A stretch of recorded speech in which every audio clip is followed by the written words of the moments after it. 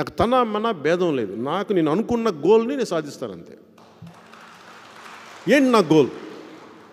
ఆంధ్రప్రదేశ్ ఎప్పటికీ కూడా తలదించుకునే పరిస్థితులు ఆంధ్రప్రదేశ్ ఉండకూడదు.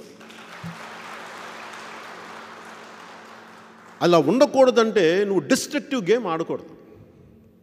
రెండు వేల పద్నాలుగు కూడా మీకు చెప్తున్నాను ఈ రోజున. టీడీపీకి ఎందుకు సపోర్ట్ చేసినా కూడా చెప్తాను మీకు.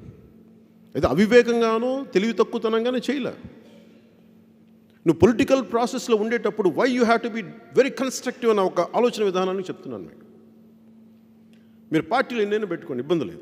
బట్ నిలబడాలను నేను ఒక మాట చెప్తే అది కూడా ఒక చాలామంది లక్షలాది మందిని కోట్లాది మందికి రీచ్ అవ్వగలిగే లక్షలాది మందిని ప్రభావితం చేయగలిగే వ్యక్తులు ప్రతి మాట చాలా ఆచితూచి మాట్లాడాలి. రెండు వేల రెండు వేల ఎనిమిది తొమ్మిదిలో ఆ రోజున మనం నిలబెట్టుకోలేని పరిస్థితులు ఉన్నా ఉండటం వల్ల మనము ఉండలేదు పొలిటికల్ ప్రాసెస్లో ఆ రోజున. మిగతా వాళ్ళని కూడా చేసుకోలేక చేసుకొని ఇవ్వలేకపోయాం.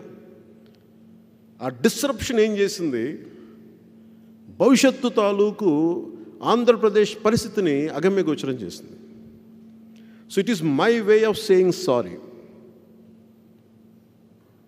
ఆంధ్రప్రదేశ్ విభజనలో సరిగ్గా న్యాయం జరగలేని పరిస్థితుల్లో మనమే కనుక పార్టీ పెట్టకుండా వదిలేసి ఉంటే అది పూర్తి కమిటెడ్ లీడర్షిప్కే వదిలేసి ఉంటే whatever their uh, capacity their capacity చేసి ఉంటే మనకి విడిపోయినా కానీ ఆంధ్రప్రదేశ్కి న్యాయం జరిగేదేమో అన్న ఒక భావన ఎప్పుడు నన్ను వెంటాడింది.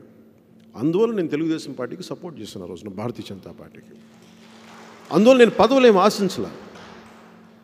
ఎందుకంటే గతంలో ఒక తప్పు జరిగింది ఎందుకు తప్పు అంటే పోటీ చేయటం వల్ల కాదు నిలబెట్టుకోలేకపోవటం. ఒక పార్టీని మనం నడపలేకపోయాం.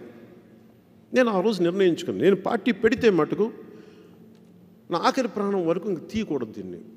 గెలుస్తామో లేదో నాకు తెలియదు బట్ నిలబడాలి. బరిలో నిలబడాలి. బరిలో నించుని ఉండాలి. నిలబడి ఉండాలి. నేను అది డిసైడ్ చేసుకున్నాను రోజు.